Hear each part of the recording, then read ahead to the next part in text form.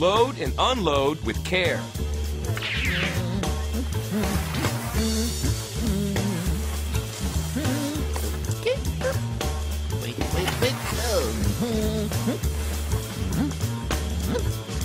Back to back, bottom to bottom. Safety first.